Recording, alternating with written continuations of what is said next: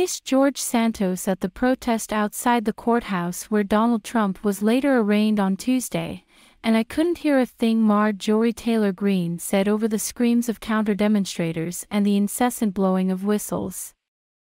They were the two biggest names who turned out to show their support for Trump on a day that felt at once historic and very small. The police put up metal barriers dividing a block-sized park near the courthouse in two, with dozens of Trump opponents on one side, dozens of Trump acolytes on the other, and cops everywhere.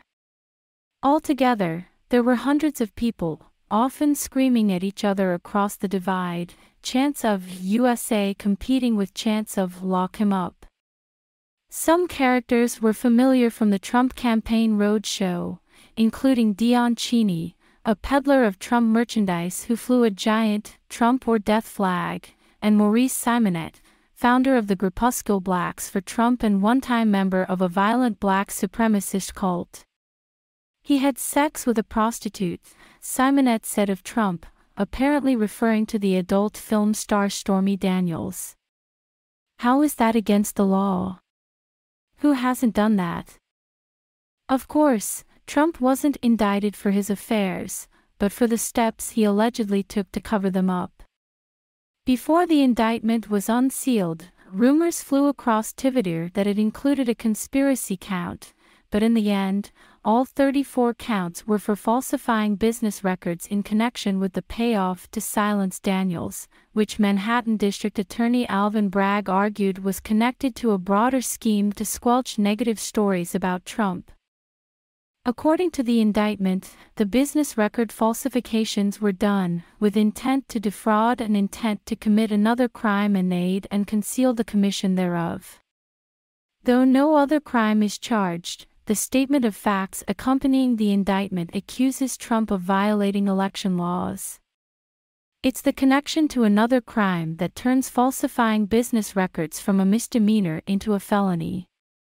Observers from across the political spectrum have been skeptical of the legal theory that underlies Bragg's case. As the New York Times reported in March, combining the criminal charge with a violation of state election law would be a novel legal theory for any criminal case, let alone one against the former president, raising the possibility that a judge or appellate court could throw it out or reduce the felony charge to a misdemeanor. Trump, in other words, may still wriggle out of this predicament.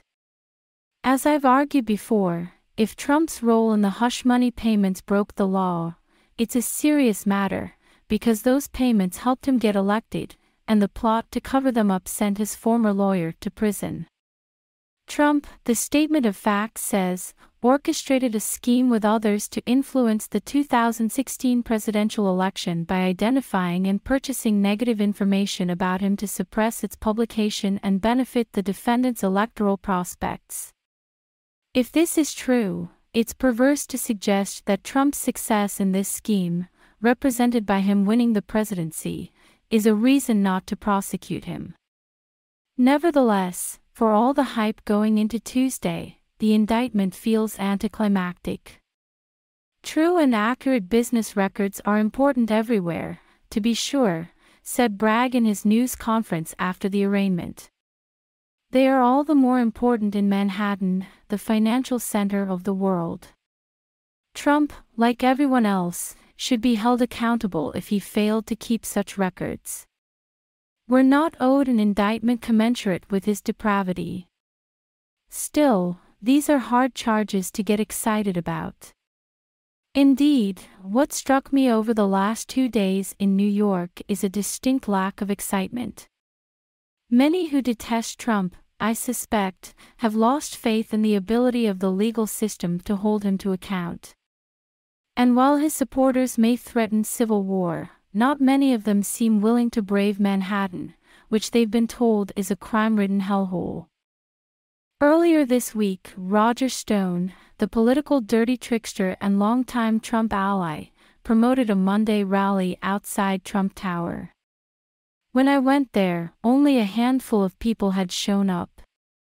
Tuesday's turnout was larger, but still felt more desultory than menacing, despite some threatening rhetoric. One man carried a sign with a noose affixed to it, signifying his hopes for members of the liberal biased news media. You could walk a block away and be unaware that anything was happening. Maybe this is to be expected. Many of the people who might have led mob violence have been either indicted or convicted for their involvement in the January 6 insurrection. And certainly, there remains an acute danger from Trump fanatics acting alone.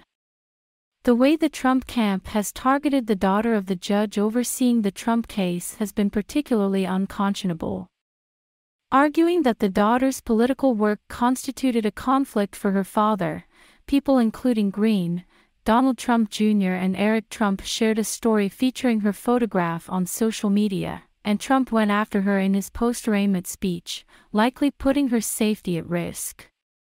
But while Trump still has an obsessive following, he can no longer command the country's stunned attention, even by getting arrested.